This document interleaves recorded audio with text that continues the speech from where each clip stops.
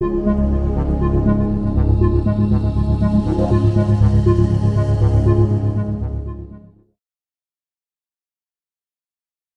everyone.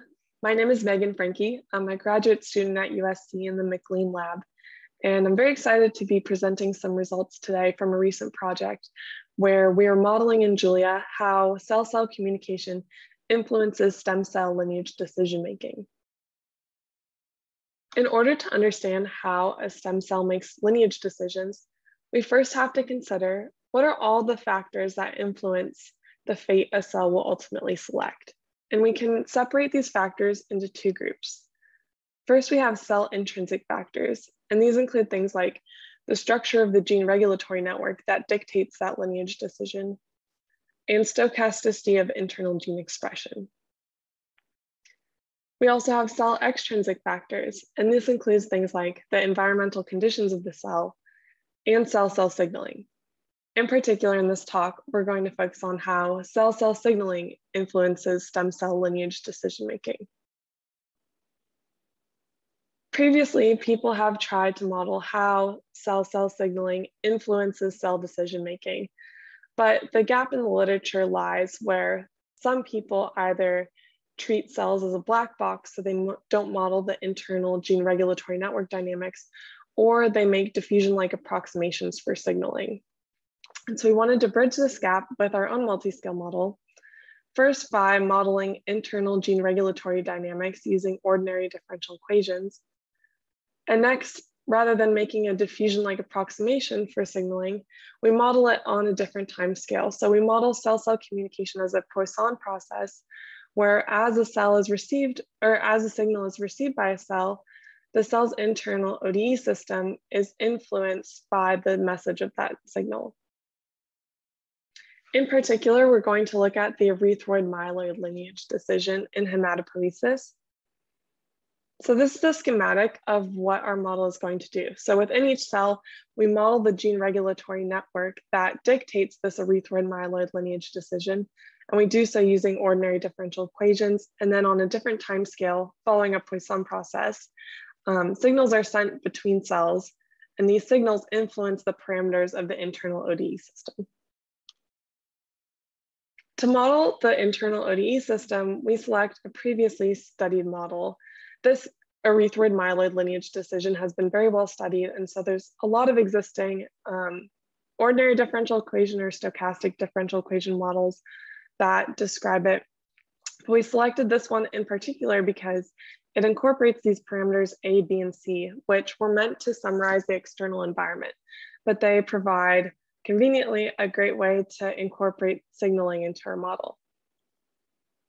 This system of ODEs exhibits bistability and each stable steady state corresponds to a certain lineage. So the stable steady state where there's high expression of GATA1 corresponds to the erythroid lineage and then high expression of PU1 corresponds to the myeloid lineage.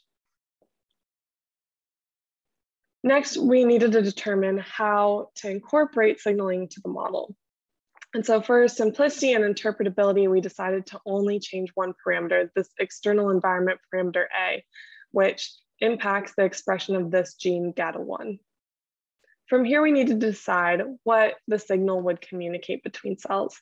And so we began by assuming that signals send a consensus signal between one another. So this means if one cell is becoming erythroid, it will try to recruit its neighbors to also become erythroid. So the way that this um, manifests in our model is, so if we're only changing this parameter A, if in cell one, if GATA1 is more highly expressed than PU1, then we'd expect the value of the parameter A in cell two to increase. And then vice versa, if PU1 is more highly expressed than GATA1, we'd expect the value of A2 in cell two to decrease.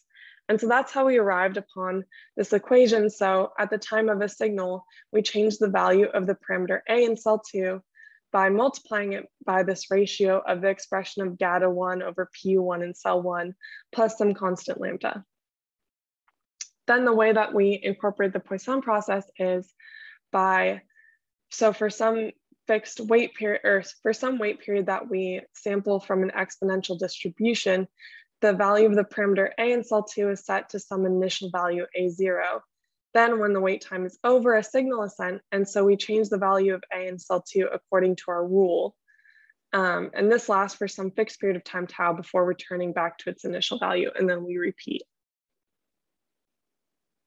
This is an example of a trajectory produced by our model. And so in this sample, we're just uh, simulating three cells communicating in a loop. And what we see is that uh, the expression of GATA1 tells us the which fate the cell has selected. So for example, cell three is converging to a state of high GATA1 expression. So that cell is becoming erythroid, while cells one and two are becoming myeloid.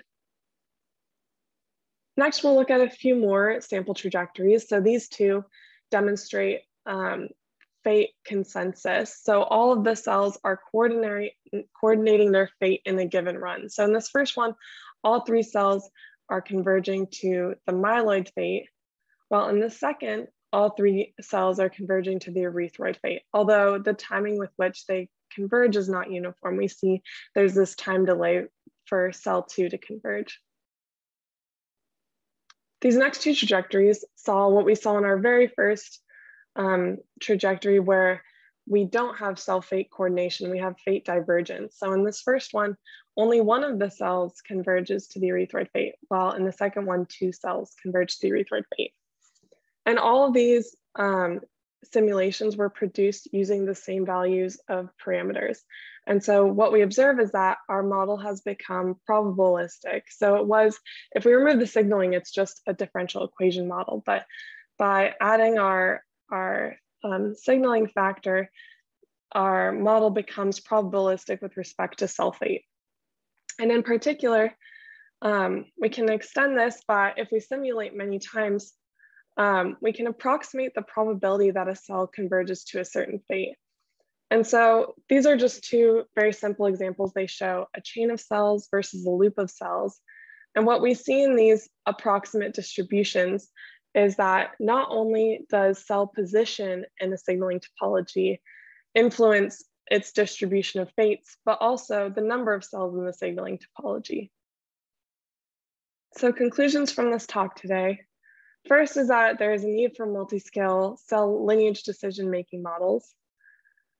Second was that by adding signaling to our deterministic ODE model, we obtained a probabil probabilistic model with respect to cell fate.